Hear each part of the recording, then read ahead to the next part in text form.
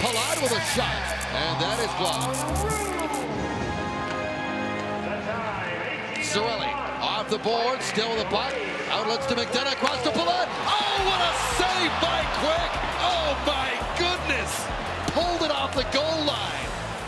Crowd buzzing after that stop by Jonathan Quick.